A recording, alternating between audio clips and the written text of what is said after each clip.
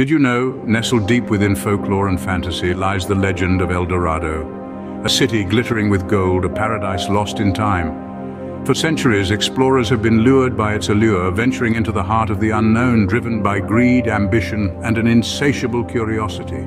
Though the Spanish conquistadors were the first, Enthralled by tales spun by the indigenous people of South America, they embarked on countless expeditions, their dreams gilded with the promise of unimaginable wealth, yet El Dorado remained elusive, a mirage dancing just beyond their grasp. Over the years, the legend evolved. El Dorado transformed from a city to a kingdom and then to an empire. Today, it is seen not as a physical place, but a symbol of human desire for wealth, power, and the unattainable.